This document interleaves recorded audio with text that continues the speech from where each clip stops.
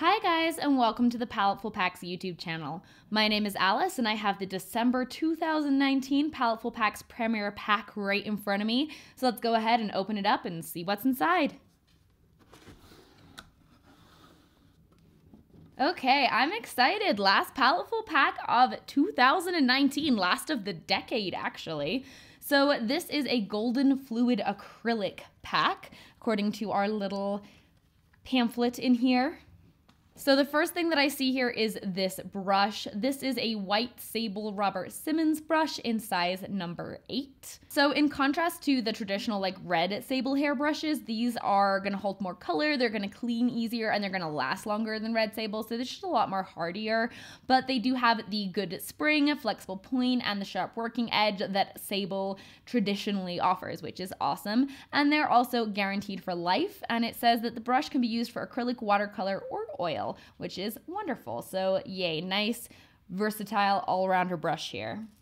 Okay, so the next thing that I see in here is this spray bottle, which is so useful. You can use this to keep your acrylics wet or to create a bunch of different effects. I always use a spray bottle in my own work. It's just a really, really helpful tool to have, so that's great that they included this. Also, I love the very festive little like paper crinkles this time around. Very fun. Okay, so here we have the paints. There's one more in here. There we go. Okay, so the paints are Golden Artist Colors Fluid Acrylics.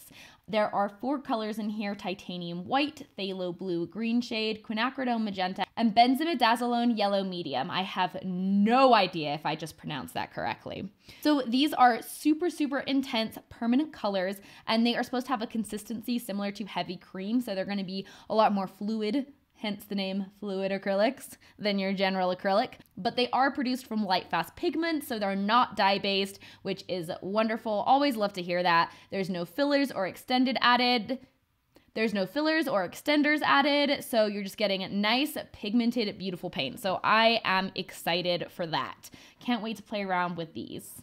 Okay, so the last thing in the box are these surfaces, and there are three surfaces in this box. So the first is this Art Alternatives canvas panel, and this is a fun shape. This is 6 by 12 so long and skinny, so a nice cool like landscape, or you could do this as a portrait, honestly, but I am feeling the landscape on this. So this is primed with acid-free acrylic titanium gesso. It's got an acid-free recycled paper board core, and it's suitable for use with all acrylic paints, oil paints, and any other wet or dry media that you really want to use with it. So that's exciting.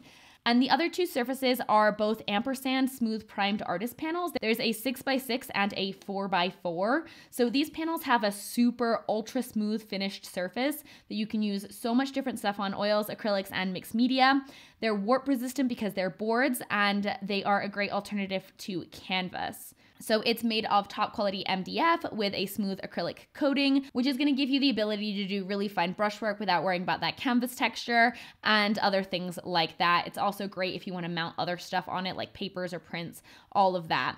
Okay, so those are all of the different surfaces that we have here. We've got these paints, these fluid acrylics. I am excited, so let's dive in and make some art. So I decided to start on the small canvas panel so that I could get a little bit more used to the way that the paints worked before I dived in on the larger canvas. So I decided to do something small and cute and just draw some little plants like leaves and do a cool kind of fun background. And because these are fluids, I really wanted to play around with all of the different things that I could do with them, um, especially all the different textures I could create. So I started by dampening the board just a little bit, and then I went in with some of the fluid acrylics a little bit watered down, and I started working in sort of a wet on wet fashion to create all of these really, really fun kind of areas and pockets of color. I sprayed it with water and then I went back and used some of the paper towel to lift up where the paint was. And then I went in with my hair dryer to blow around some of the paint and to dry it a little bit as well. And I just kept building up in layers over the top of that. Once I had that done, I spent some time waiting for it to dry. I kept kind of having to use the hair dryer, spraying it with some water, kind of softening it up until I created a result that I liked. And this was how the background ended up turning out. And then once I was happy with the texture in the background, I went back in over the top and started filling in those leaf shapes that I had drawn earlier with a darker green combo. When you're painting on this specific surface, you can lift the paint a little bit more when it's still wet. So I think that it was a little bit important to make sure that each layer was dry before I went on. Otherwise, it could lift up the layer underneath.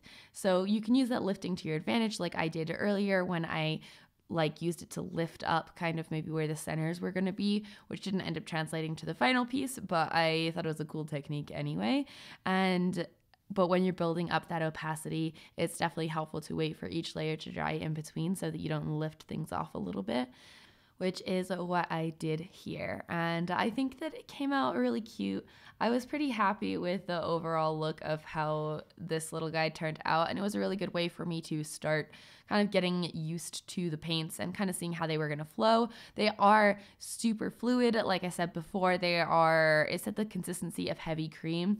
And I think that's pretty true. They are pretty liquid on their own. You can light like make them more liquid by adding in water and watering them down that way, but you don't even have to. You can kind of use them on their own as they are. They're definitely fluid enough to work for pours, uh, moving things around, just kind of like doing all those fun effects, which is really exciting. If you have used Palette packs before or if you've tried Yupo paper, I felt like these artboards worked kind of similarly to Yupo paper with these specific acrylic paints. And the reason that I say that is because when you use them like watered down on the surface, you can get those really nice darker edges and create some really, really cool effects with that. So if you've ever used Yupo paper, this is kind of a similar effect to that as well. But as you can see, because they are acrylics, you can build up on top of each other and add in those lighter colors later. And that was my little leaf drawing. And now I moved on to the bigger drawing. So, the thing that I really enjoyed the most when I was doing the small little 4x4 picture was kind of the pouring and the moving around of the paint, the fluid paint. And so, I decided I really wanted to use a lot more of that technique in this next piece. And I thought that it would be cool looking at the colors that I had and just thinking about what I had done before to do kind of a night sky turning into a daytime sky, a little bit more abstract, but I thought that it would be really, really fun and a really nice way to show off all of the different colors and play around with all of the different effects that you can do. So as you can see, I really got this canvas pretty soaked with the paint. I played around with both adding paint in that I had watered down for my palette and also pouring the paint directly on there from the bottles which worked pretty well. I think if you pour the paint directly on from the bottles, I personally had to use my paintbrush a lot of times or like a spray bottle to kind of break up some of those bigger puddles of paint. But once I did that, it worked pretty well to move things around and create some of these really cool textures and effects. I went in with paper towel then and I lifted up a bunch of areas, which it lifted up so, so well, as you can see. And I used that to establish where I wanted some clouds to be in this little like gradient kind of abstract sky. And then I went in with some of the white acrylic paint and I started adding in some white to where I wanted those clouds to be before I moved on and did more of the tipping and tilting and pushing around of the paint. I waited for that first layer to dry, which took quite some time. And then I went in with a second layer to build up some more definition and to make it look a little bit darker on the night sky side to kind of fill in that center area and to define the clouds a lot more and make them look more cloud like. I basically established my first base layer and then just continue to work over the top of that. So because these are acrylics, you can use them watered down to create all these cool watercolor like fluid effects, which is wonderful, but they are opaque. So you can actually layer on top of them, add the white back on top, and things like that, which is so, so useful if you are the kind of person that likes to work in layers. You don't have to necessarily plan things out as much. You can kind of add and uh, readjust and change, which is super, super useful. I was continuing to work in a wet on wet style, adding in more of this dark blue and pushing it around, adding in a lot of that white and yeah, just continuing to kind of build this up. There's a lot of different techniques that you can use when you are playing around with these, whether it's pushing them around with moving the canvas, using a hair dryer, blowing on them. I found that I was able to get these to dry a little bit faster by having a space heater next to it because if you're playing around with this kind of pour fluid technique, it's very, very wet. So obviously it can take some time to dry. So if you don't want to wait overnight or if you need to speed the process up, that was helpful for me. And once I was done with that, I just had to add a few little details. So I added in some little stars and a moon peeking out from the clouds.